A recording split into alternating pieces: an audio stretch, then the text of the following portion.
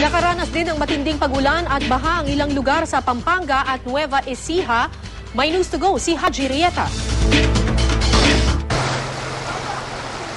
Hindi pa man tuluyang humuhupang bahang dulot ng habagat ilang linggo nang lumipas, muli na namang tumas ang tubig sa ilang bahagi ng Masantol, Pampanga dahil sa pag-ulan nitong weekend. Kaya naman ang mga residente, sanay na raw at na lang sa baha para magawa ang mga normal na gawain.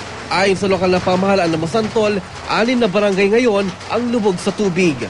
Ang apat na kilometrong kalsadang ito, lubog sa hanggang tuhod na taas ng baha. Ah, nakaka-nervous na naman. Diyos ko, eh, ito nga ang dinaanan ko, baha. Ito nga, bar, ito nga sa malapit sa munisipyo, baha. Itong part ng bandang Makabebe, baka hindi na maka- makadaan na nakaka-nervous. Siyempre, yung talagang ah, pagka hindi kami nakakadaan dito sa National Road o Provincial Road, ay dadaan na naman kami sa DK. Isang malaking sakripisyo na naman.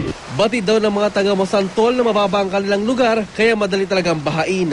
Kaya naman doble ingat na lamang sila sa mga sakit na maaaring makuha sa maruming tubig tulad ng leptospirosis, dengue at skin diseases tulad ng alipunga. Inulan din ang ilang lugar sa Nueva Ecija sa barangay Santa Rita sa Haen Agad na mahagi ng relief goods ang isang organisasyon at lokal na pamahalaan. Malapit kasi sa ilog ang barangay kaya madaling bahain. Problema rin sa lugar ang di maayos na drainage system. Tuwing bumabaha roon, hirap ang mga residente na lumabas ng bahay para makabili ng pagkain.